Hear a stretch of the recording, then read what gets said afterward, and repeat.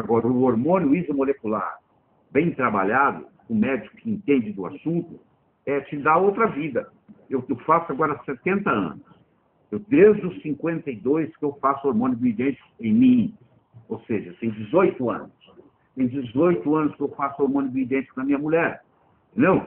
Então, eu primeiro faço, porque tem médico que fala assim, eu não tomo remédio. Fala, como é que você tem que dar remédio para os outros e você não toma?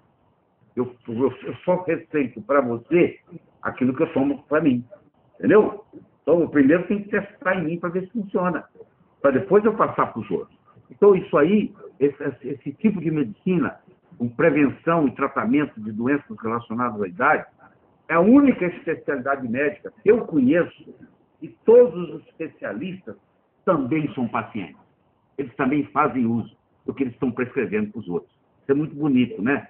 Você trabalha com prevenção e tratamento de doenças relacionadas à idade, com essa nova medicina pós-genômica, que ela vai, vai custar para encaixar, porque fac, na faculdade de medicina isso ainda não chegou.